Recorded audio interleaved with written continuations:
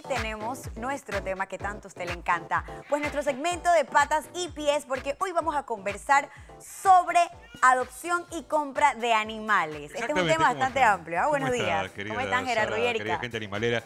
Decidimos hablar de este tema por varias razones. Primero, porque queremos que la gente comprenda por qué promovemos como primera instancia evaluar la opción de, adoptar. Si de todas formas quiere comprar, vamos a explicarle qué tiene que tener en cuenta al momento de elegir una raza de perro o incluso de gato. Claro, para ver la diferencia de ambas entonces. ¿Qué sería lo ideal? Bueno, primero siempre promovemos la adopción, por supuesto. En Panamá, para aquellos que todavía no tienen esta información, en Panamá hace muchos años también se promueve la adopción de perros y gatos con un lineamiento bien claro. Un lineamiento que, por supuesto, el momento que el, animal se rescata, va a un hogar temporal, todo el tema, ayudan también a la parte de salud, se hace también las desparasitaciones, incluso muchas veces los planes de vacunaciones se completan y después entonces se les busca una familia acorde a eh, las necesidades del perro y también el estilo de vida de las personas. En la adopción es lo mismo que cuando vas a escoger un perro de raza o un gato incluso también, que tienes también que saber si el perro tiene cierta personalidad que vaya contigo. A veces asumimos que porque son muchos de ellos son mestizos, pensamos como que todos son iguales y en realidad cada uno tiene su personalidad y es importantísimo también hacer ese match perfecto de estilo de vida de las personas y también los perros y los gatos. ¿Cuál es la diferencia entonces al, momento de realizar la compra para saber bien qué, qué, fue, qué sería lo negativo pues de esto? Lo que pasa es que en Panamá, como en muchos países, tenemos muchísimos perros y gatos buscando hogar, muchísimos y, muy, pasa que hay personas que solamente piensan a veces en las razas. Mm, ok. Entonces, aquí no es que estemos tampoco este, criticando a las personas que eligen una raza. De hecho, nosotros tenemos 10 años educando también el tema de razas para saber que el perro también va a ir a un hogar acorde. Pero sí hay muchísimos perros con unas personalidades preciosas, con incluso apariencias divinas, porque los mestizos tienen una belleza única e irrepetible, que buscan una familia y que sepan pues que en Panamá ya hay esta opción que debemos considerar siempre como la primera cuando pensamos en un nuevo integrante.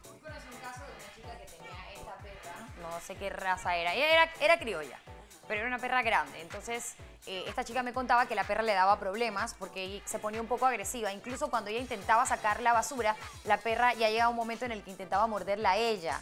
Y al hijo, si se acercaba el señor de la basura, que era un niño como de 10 años, también la perra, pues, a veces lo atacaba o se ponía agresiva.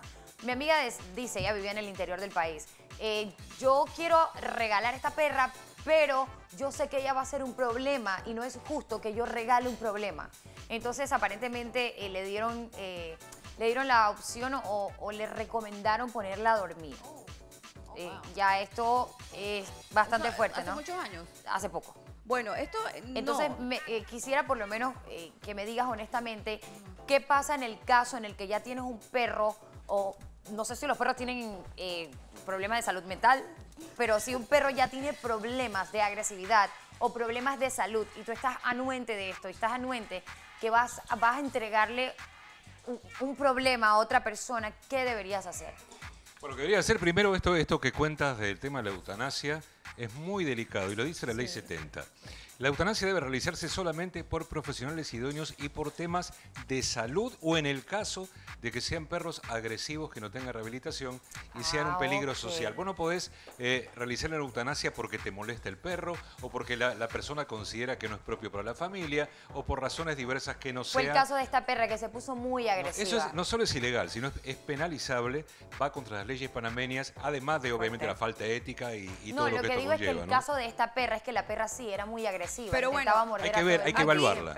Aquí, es como eh, en todo. O sea, si nosotros muchas veces agarramos un perro y muchas veces sucede que lo haces agresivo en la familia. O sea, hay que ver también cómo fue la historia de esa perra, no solamente lo que ella ya había vivido antes de llegar donde ellos, sino también cómo fue la convivencia dentro del hogar. Hay errores que se cometen. Muchas veces hay perros que vienen con algunos traumas, con miedos, y si tú no le haces la rehabilitación, pues lastimosamente, igual que los humanos, va a seguir comportándose mal. Y incluso a veces se cometen errores que continúan reforzando este problema dentro de la familia. Sí, hay, hay perros que lo cambias de contexto, por ejemplo ejemplo, lo cambias de familia y el perro cambia totalmente de carácter porque ellos absorben tipo esponjitas la energía de las personas y hay personas muy desbalanceadas que obviamente generan que el perro también sea desbalanceado y en el caso de perros agresivos más. ¿Qué cosas debo preguntar o debo saber al momento de adoptar un perrito que precisamente pues a veces no sabemos el perrito de qué familia viene o con qué costumbres viene?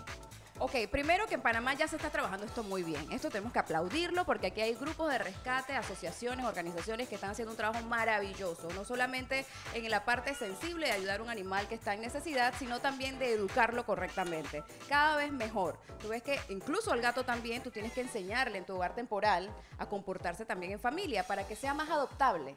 Entonces tú vas a hacer que ese perrito, muchas más personas quieran aplicar por él o ese gatito, porque por supuesto tiene una excelente conducta. Así que en, en Panamá, igual que en cualquier lugares del mundo, hay ciertos lineamientos. Número uno, toda persona que rescate un perro o un gato, antes de darlo en adopción, además de chequearlo de salud, porque tienes que dar un animal sano, tienes que pasar por la esterilización.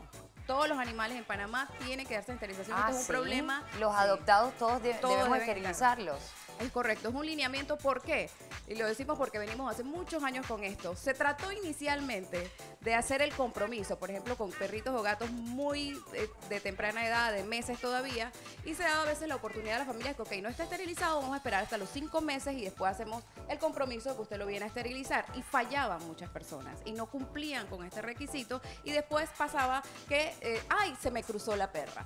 Y venían otro montón de cachorros que no estaban programados o planeados y entonces pues lastimosamente ese lineamiento se volvió cada vez más estricto y así es que todos los animales que se dan en adopción que ir esterilizados. Así es, porque de uno nacen ocho, de los ocho nacen otros ocho de cada uno de los ocho y así se van reproduciendo. Con el caso de perro de raza, usted veía recién que yo tenía conmigo a Jaco. Jaco es un Jack Russell de nuestro querido señor César de León y su señora esposa Miriam. Es un perro, no se porta mal, es un Jack Russell. Bueno, en el momento de elegir, estudien, lean la funcionalidad del perro, cómo va a ser el perro, porque esto no es casual.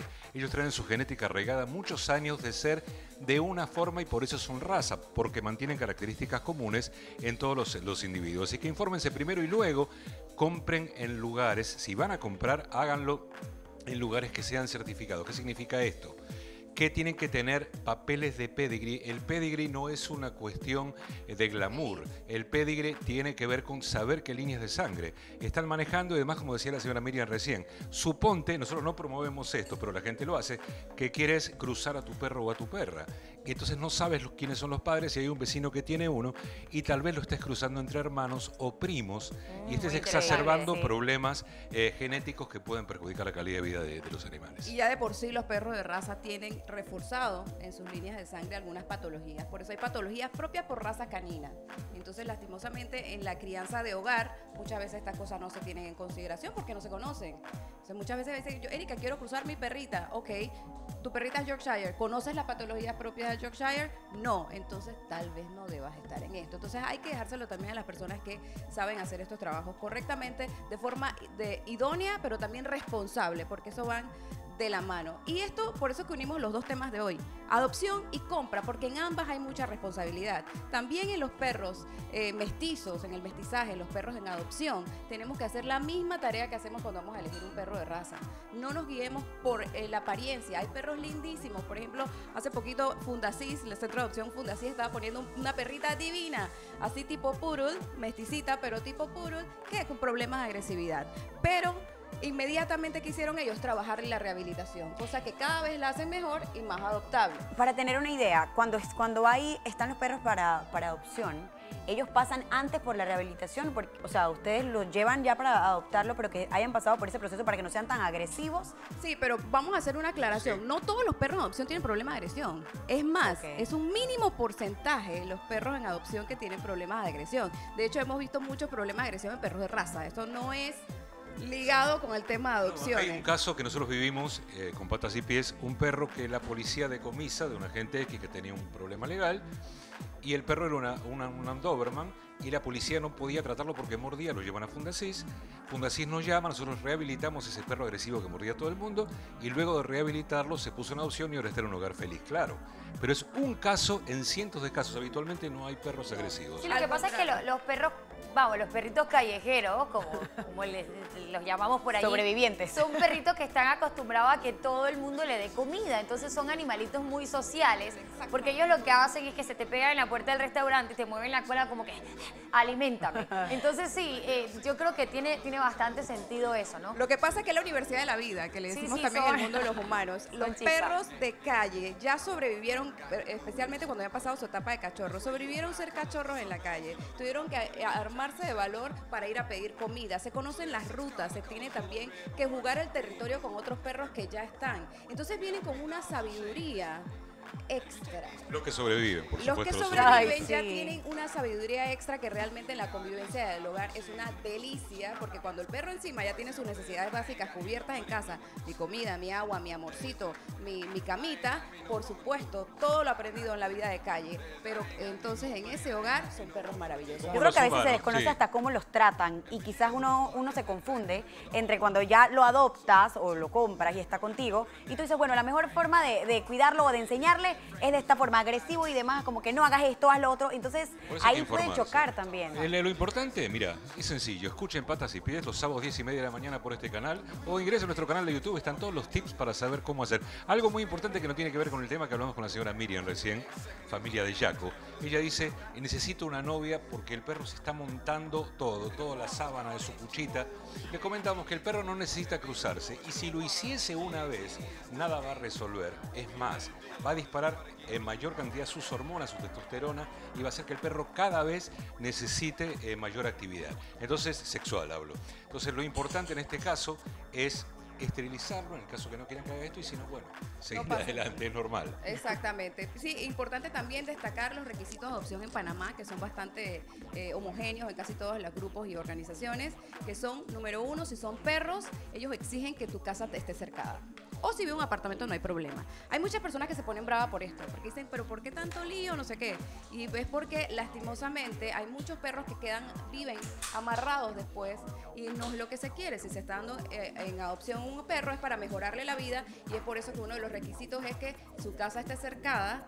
Si es casa y si es apartamento, pues no hay problema. Y en el caso de los gatos es todavía mucho más sencillo. Mil gracias, eh. Gerardo y Erika, por habernos acompañado aquí en nuestro segmento de patas y pies. Ya usted tomó nota de qué es lo correcto, adopción o compra de animales. Siga los consejos, vea su programa para que esté más informado, que es lo importante.